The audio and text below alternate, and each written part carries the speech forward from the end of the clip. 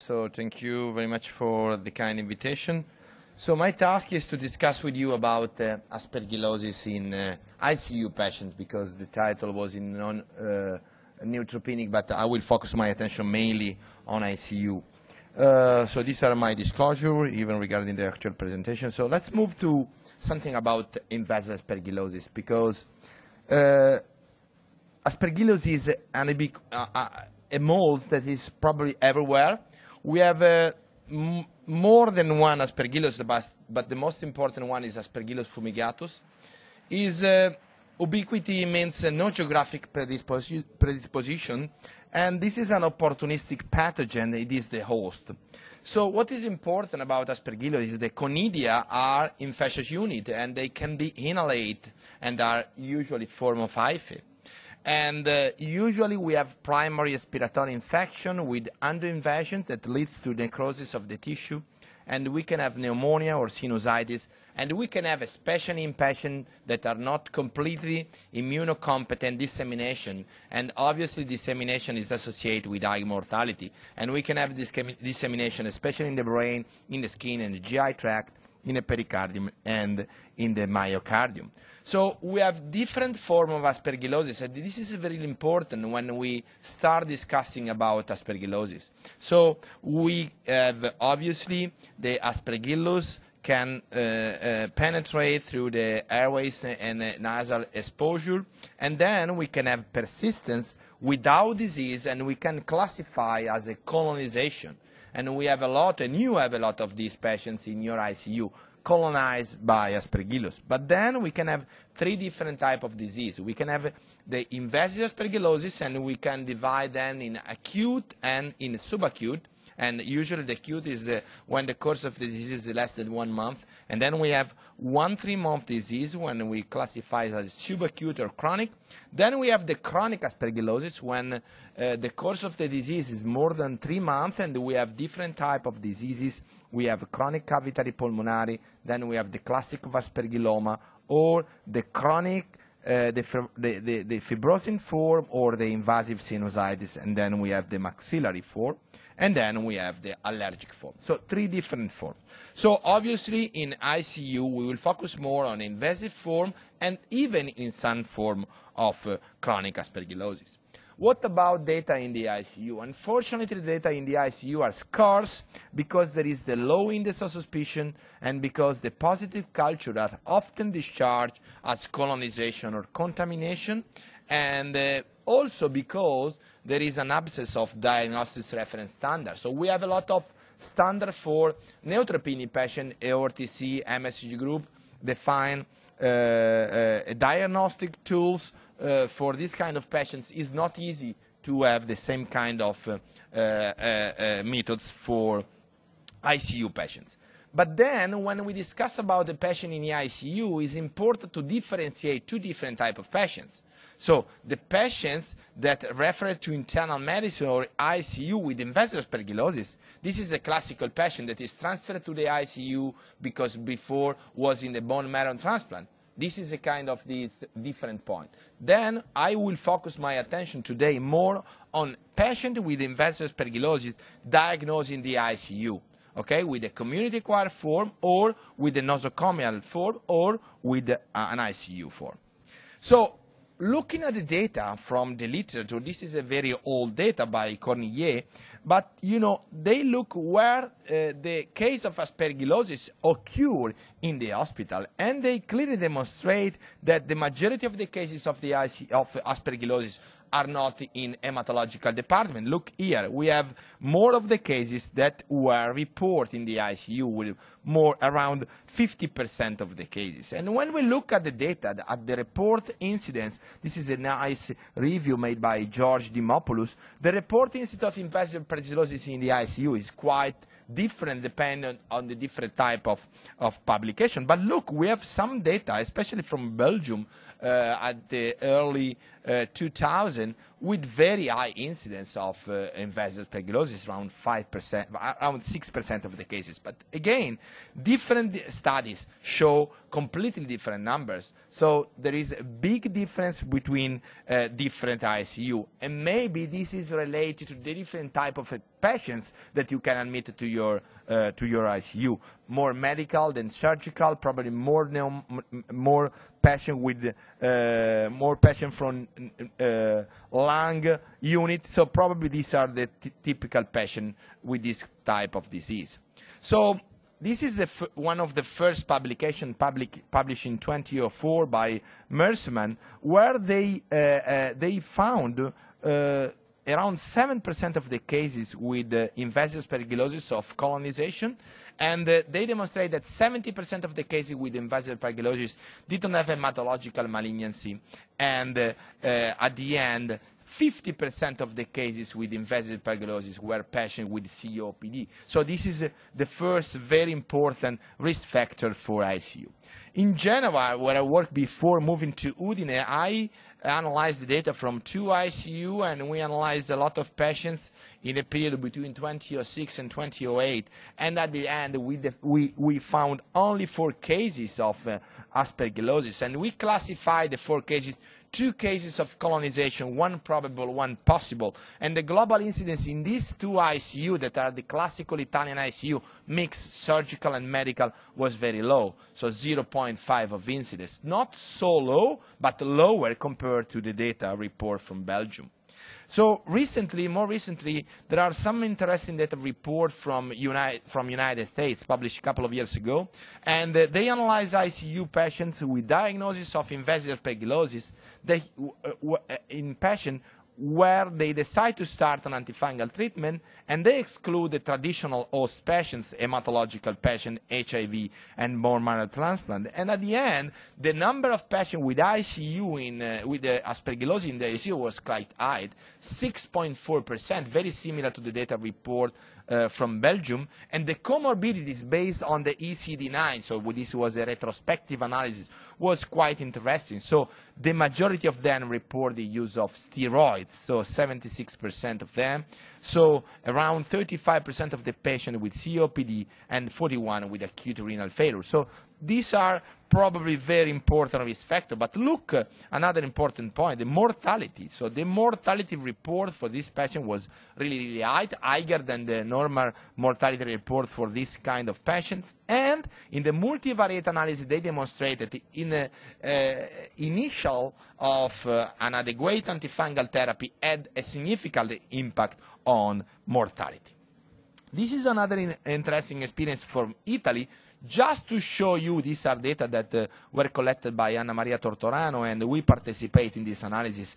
Corticosteroid treatment given for autoimmune pathologies of chronic obstructive pulmonary disease was the measure of factor. So looking at the risk factors for uh, uh, invasive aspergillosis in the ICU, steroids, remain a, a, really important factor. So again, in this another experience from uh, Garbino from uh, Switzerland, he, when we look at the type of risk factor, look the prednisone, was present in the majority of the cases, around 57% of them uh, were previously treated with prednisone. So use of steroids is a really, really important risk factor. But then don't forget another important risk factors, and, and you can see here we have the risk factors for invasive aspergillosis. We have obviously neutropenia, but is more for uh, hematological patients, corticosteroid treatment. And then in yellow, we have all the minor risk factors, COPD, but then you remember in the majority of the cases, COPD are treated also with corticosteroid treatment. So it's not easy to define if the, uh, the risk factor was related to the COPD disease, for the lung disease, or to the use of the steroids. And then another really important risk factor is represented by the severe liver disease that represent another important category of patients. So uh, invasive aspergillosis in COPD is really important. So these are just some images, radiological images about uh, uh, patient with uh, invasive aspergillosis. Here are the traditional chest X-ray, and these are, you know, lesion with the CT scan. And this is was uh, uh, these are three different images. And this was a patient admitted in my uh, in my unit just last year, and you can see these are uh, this was a patient with COPD and aspergillus isolate. So uh, uh, the, the, the, problem of uh, COPD and aspergillosis was uh, deeply studied by, by Guinea, and the first paper was published in CMI in 2010, and they analyzed cases of uh, uh, more than seven years, and they report that the episode of invasive aspergillosis increase of the, period. You can see here the trend in the number of episodes, and you can see also the, the, the COPD patient with aspergillosis isolate that increase over the time. So, and this, uh, you can see that around 22% of aspergillus in COPD. So very high number. And Guinea tried to define the close to the diagnosis of, of invasive aspergillosis. Who is the patient with COPD that can have a diagnosis of invasive aspergillosis? So GOLD stage 3 and 4, Patients that present excessive wheezing, considered tracheobronchitis. Worsening infiltrates is an exacerbation. Bilateral infiltrates, cultures of aspergillus, and high corticosteroid exposures recently. So the patients treated for uh, very high dosage of steroids or for very long period of time are probably typical patients uh, with uh, uh risk factor for invasive aspergillosis. Do not expect fever because usually patients with uh, invasive aspergillosis, but this is very common also to many other fungal diseases, do not expect fever because fever is present in less than 50% of the cases. So another important risk factor that I uh, mentioned before is uh, liver disease. So this is a, a, a, literature, review, literature review made by Marco Falcone, published in Medical Mycology, and they he compared two periods, you know, 73, 99 to 2020, 09, and you look at the number increase report, at least the number report in the literature, and you can see that. Uh, it's very interesting the, the difference between mortality. So in the, the previous period and in the second period, so look the mortality in the first period was around 90% and was reduced in the second period. So uh, it's very important to remember that patients, especially patients with end-stage cirrhosis, are very uh, are patient at high risk to develop invasive aspergillosis. And another important is factors, and we are going to, to go in a flu season now, and uh, look, this was a report of a uh, couple of years ago in intensive care medicine about the invasive aspergillosis and H1N1. So they report about 40 critically ill patients with confirmed H1N1, and nine of them 23 develop invasive aspergillosis. So, and again, this is really important, but remember another important consideration is the corticosteroid used seven days before the ICU admission was more present in patients with invasive aspergillosis. It's not easy to define if the patient developed invasive aspergillosis because of the H1N1 or if the patient developed invasive aspergillosis because of the previous exposure to uh, corticosteroids. In any way, it's important to consider as an important risk factor. And here you have all the different cases divided by probable and uh, proven. So what about diagnosis? It's easy to do the diagnosis of invasive aspergillosis in the ICU. It's probably not easy. Why? Because the radiological findings that are very important for a hematological patient are not important for uh, non-neutropenic patients. So the radiological image are not specific. So the classical halo sign, the air crescent signs are not usually present in non-neutropenic patients. I show you two papers that uh, demonstrate that. This is a nice paper published in Journal of Infection where they uh, uh, compare CT images of patients neutropenic and non-neutropenic, and you can see that the halo sign that is very frequent in neutropenic patients is not so frequent in this uh, cohort of patients trans plant passion. And the second uh, study was uh, published last year by Fabio Taccone, and again, they show us that there are not specific chest X-ray in passion with uh, uh, invasive aspergillosis. So it's important to perform radiological image, but don't expect to have typical images as we have in hematological patients. So what about uh, tests, microbiological tests? So we use the galactomannan. What is the galactomannan? Galactomannan is an ELISA detection, and uh, we can do the galactomannan in serum, BAL, and even in CSF. Don't forget this, this is not the perfect test. So it's a useful but not the perfect test because there are a lot of false positive that is quite variable depending on patient populations and depending on the underlying diseases and depending also on the type of uh, the drugs that we're using. For instance, piptazo or amoxicillin clavulanic acid can increase the level of galactomannan. However, we know that uh, if we decide to do the galactomannan in this patient, please don't do in the blood because it's not useful. You have to do the galactomannan in the BAL. This is a study by Meersseman that where they demonstrate that the level of, of uh, of uh, uh, galactomannan are very important in the BAL, not in the serum. And in fact, uh, the last uh, European Society of Clinical Microbiology and Infectious Diseases guidelines recommend to uh, not to do in ICU patient the blood determination of the galactomannan because there is a better performance in neutropenic patient compared to non-neutropenic, but to perform the uh, galactomannan in BAL. And the optimal cutoff is between 0.5 and 1, and less than 0.5 rule out the invasive aspergillosis. What about the future? So this is a very uh, interesting option for the patient. This was recently published in Critical Care, and this is the uh, lateral flow device test, very useful. You can put inside the BAL, and you can have an answer in half an hour. So this was studied by the group of Austrian colleagues and was published last year, and you can see that the sensitivity compared to the conventional BAL culture is interesting. Sensitivity 80%, 81 of specificity, and important, the negative predictive value 96%. So I believe that probably this can be a test that is useful, easy to use, uh, is a kind of POC, and you can use directly in your ICU. So what about the definition regarding the disease? I told you at the beginning that uh, it's not easy because we don't have definition, but now we have because we present with uh, a group of colleagues in uh, Lisbon and will be published soon in, uh, in, in, clinical infectious disease. And these are the definition for uh, invasive aspergillosis in uh, ICU patients.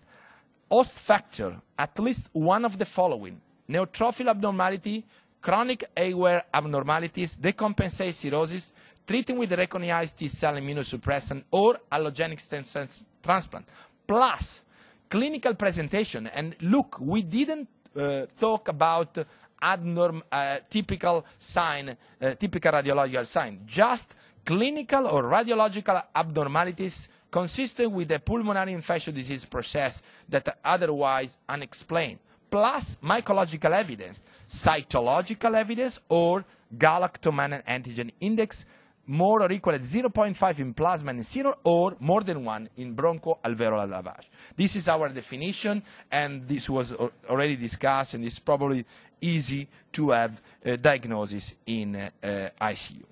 So what about the treatment? And this is the last part. So we know that if we don't treat the patient with invasive aspergillosis, this is the mortality, quite close to 100% of mortality.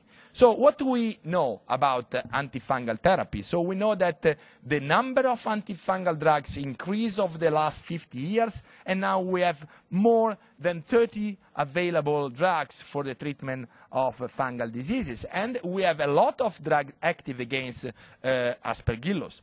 But looking at the data, the only drug that has been studied specifically in uh, uh, non-neutropenic patients or specifically in uh, chronic form of aspergillosis was the voriconazole in the Vertigo trial, where they compare, uh, they, they, they analyze the drug, and these are the data, very interesting one, very high clinical response at month uh, six. And for this reason, in uh, this recent uh, publication with Massimo Antonelli and many other Italian colleagues, how to manage aspergillosis in non-neutropenic intensive care unit patients, we recommend to use voriconazole as a first choice for the treatment of invasive aspergillosis in ICU patients with alternatives liposomal amphotericin B or echinocandins. The salvage therapy can be combination of voriconazole plus amphotericin B or plus echinocandins. The last point is regarding the duration for how long we have to treat um, our patient with invasive aspergillosis. So the, the ICU, the, the ASHME guideline said that um, if you have a subacute or a chronic, six months is the minimum duration in order to achieve the cure. My opinion is that the optimal duration of invasive aspergillosis is basically unknown. And uh, probably there are some patients in which we have to do indefinite, immuno, uh, indefinitive suppressive therapy may be appropriate. There are other patients in which we can stop after three months. So depending the patient that you have. So in conclusions, so invasive aspergillosis in non-neutropenic patients is an emerging problem. There is a big variable incidence, 0.33 to 5.8, other cases 15 percent. Probably is a problem underestimated. We don't know now. The, the, the, problem is really well studied in the majority of the ICU. So don't forget three important risk factors, steroid use, COPD, and liver disease there are a lot of delayed diagnosis. More galactomannan than CT scan. It's probably more important to do the galactomannan than the CT scan.